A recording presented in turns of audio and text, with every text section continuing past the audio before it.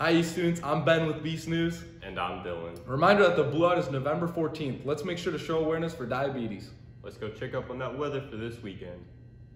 What's up, Cougs? I'm Ben with Beast News, and this is the weather for your weekend. Uh, as you can see on Friday, highs of 61, lows of 33. Saturday, highs of 40, lows of 27. And on Sunday, highs of 38, lows of 25. It's going to be cloudy, get a little bit more chillier. And then, you know, next week, as we can see, we got some snow and rain coming in. So it's going to be an interesting week. So make sure you guys, uh, you know, stay warm this weekend. And remember, be East.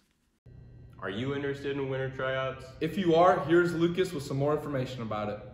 Winter tryouts are soon. Make sure if you want to compete in skiing, wrestling, or girls basketball to look at the locations and dates on the screen and make sure to be there at the right time.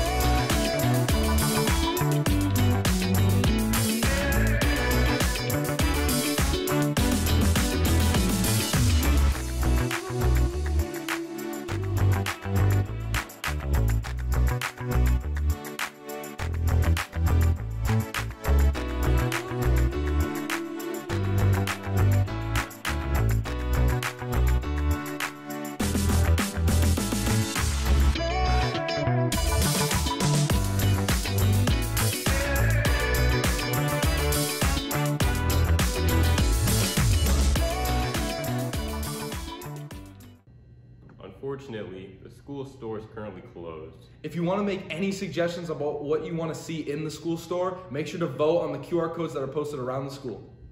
That's it with today's news. Thanks for watching, and we hope to see you here next time. Remember, be East.